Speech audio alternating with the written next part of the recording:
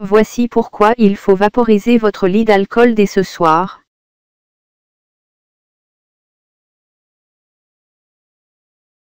Pour désinfecter, nous avons presque tout le même réflexe, utiliser de l'alcool. Ce produit fait pratiquement partie des indispensables à la maison pour venir à bout des petits bobos de la vie quotidienne. Or, peu de gens savent que l'alcool à 90 degrés peut être utilisé de mille et une façons. Connaissiez-vous ces différents usages? Pouvez-vous éliminer les punaises de lit ou bien les bactéries avec l'aide de l'alcool? Tout ce que vous devez faire est de vaporiser sur le matelas et les oreillers, et après plusieurs fois, votre lit sera débarrassé de ces parasites. Alors oui, c'est la solution miracle à tout problème de désinfection, mais nous vous rappelons aussi que l'alcool est un combustible, alors attention au risque d'incendie et gardez-le sous clé, et surtout loin de la portée des enfants. Voici les différentes utilisations de l'alcool que vous ne connaissez peut-être pas encore. Il nettoie votre peau, L'alcool à friction a des effets anti-inflammatoires puissants qui apaisent la peau affectée, il désinfecte les boutons et prévient l'apparition de l'acné.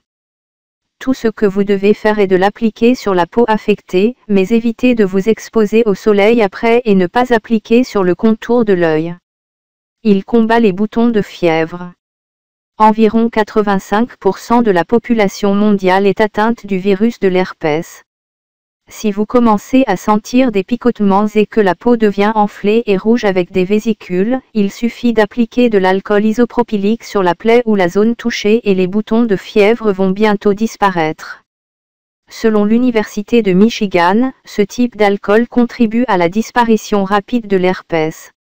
Il sert de déodorant. Appliquer un peu d'alcool sur les aisselles, neutralise la mauvaise odeur et tue les bactéries. Pourtant, notez qu'il ne faut pas s'habituer à l'usage de l'alcool, vous pouvez juste l'utiliser temporairement, car il peut entraîner des irritations cutanées. Il élimine les poils incarnés. Appliquez un peu d'alcool sur les aisselles et le bikini après le rasage pour éviter les poils incarnés. Une technique simple et efficace en même temps. Il peut servir de sac de refroidissement, Mélangez une dose d'alcool avec deux doses d'eau et stockez dans un sac en plastique scellé dans le congélateur pendant une heure.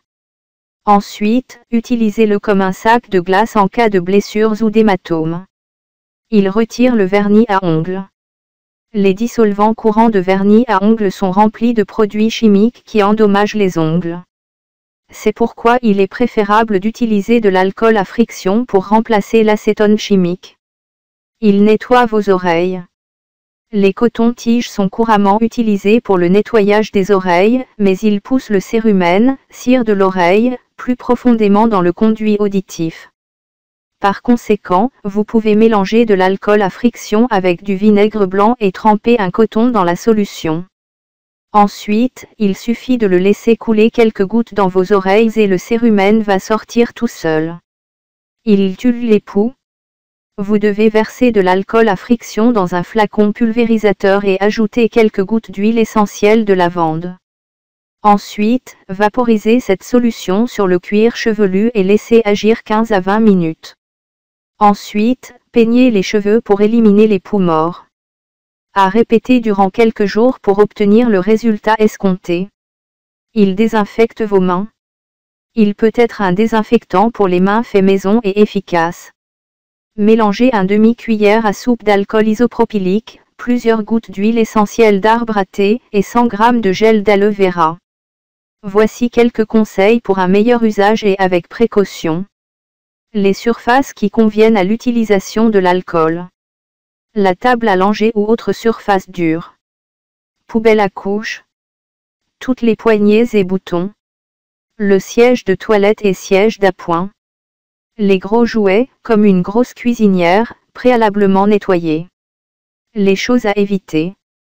Sur les jouets portés à la bouche. Sur les tissus. Sur les appareils électroniques ou jouets avec pile.